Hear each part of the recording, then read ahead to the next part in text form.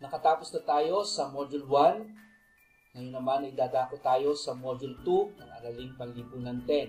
At ang Module 2 ay tungkol sa kasalukuyang kalagayang pangkapaligiran ng ating bansa. Ang mga standards ay ang mga sumusunod. Content standard. Ang mag-aaral ay may pag-unawa sa mga sanhi at implikasyon ng mga hamong pangkapaligiran upang maging bahagi ng pagtugon na makapapabuti sa pamumuhay ng tao. Performance standard. Ang mag-aaral ay nakakabuo ng angkop na plano sa pagtugon sa hamong pangkapaligiran tungo sa pagpapabuti ng pamumuhay ng tao. And ang most essential learning competency na tatalakay ang kalagayan, suliranin, at pagtugon sa isyong pangkapaligiran ng ating bansa. Simulan natin sa review. Okay? At pag-usapan natin ano ba ang kahulugan ng salitang kapaligiran. Of course, we are all familiar na ang salitang ugat ng kapaligiran ay ang paligid. So, ito ay tumutukoy sa kung ano ang nakapaligid sa tao.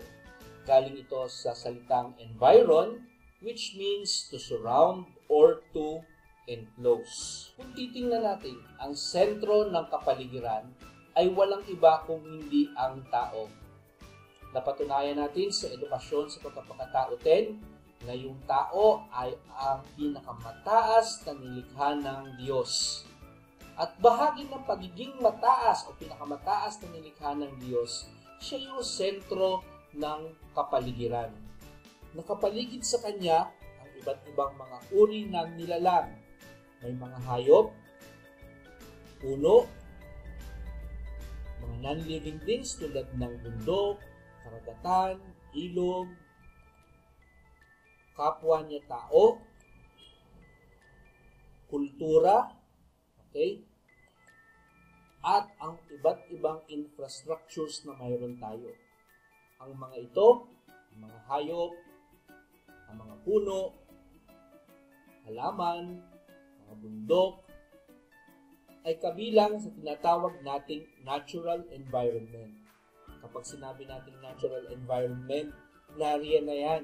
Hindi yan ginawa ng tao. Bagkus, natural na naririyan sa kanyang paligid.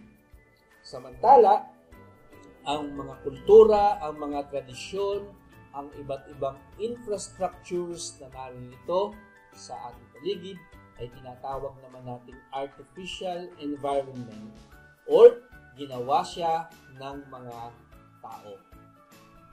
Ito ang katuturan ng salitang kapaligiran ng tao.